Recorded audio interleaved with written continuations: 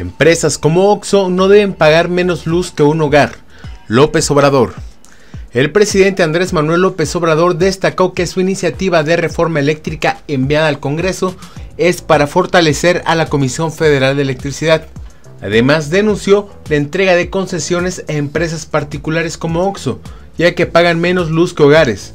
En su mañanera acusó que de manera perversa se abandonaron las plantas de la CFE para que se convirtieran en chatarra y así el mercado se absorba por las empresas privadas extranjeras.